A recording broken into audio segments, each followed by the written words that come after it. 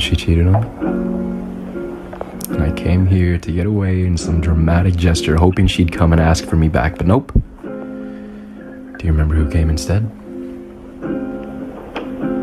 You did. My best friend.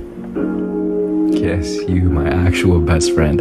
Of course, the guys are my guys, but they're not you. Who was the first one there, besides my own mom, when I went to the hospital because I broke my foot last year? You. Who was the last one to leave? You. Who paid for all my fries afterwards, huh? You. Oh, who laughed at me first when I face planted after skateboarding? Sunny, and then you. it's always been you. Always. Who am I always talking about?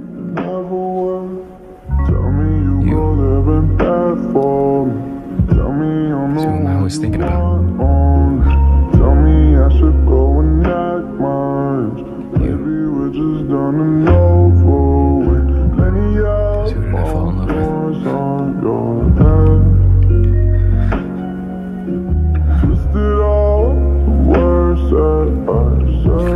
Fool wait until the last day, the last summer before the rest of our lives to say something.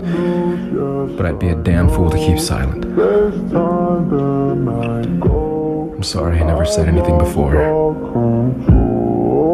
But you know how it goes. I remember how it went with you and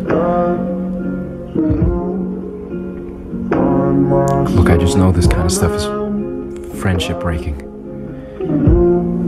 I couldn't ever imagine losing what I already have with you.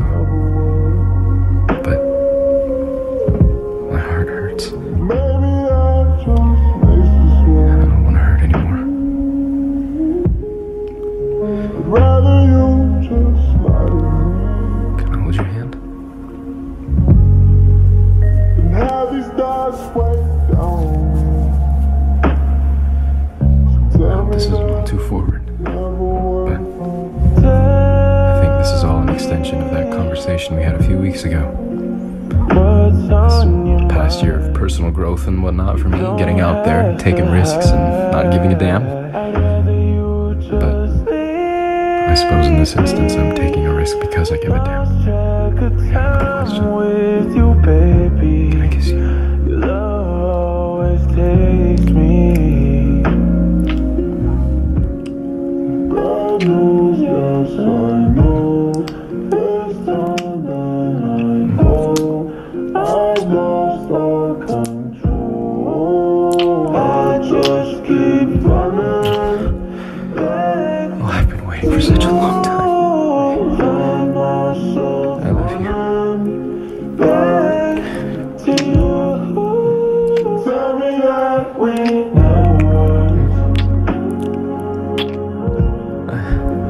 I, I don't care how far you're going. Where you go, I go.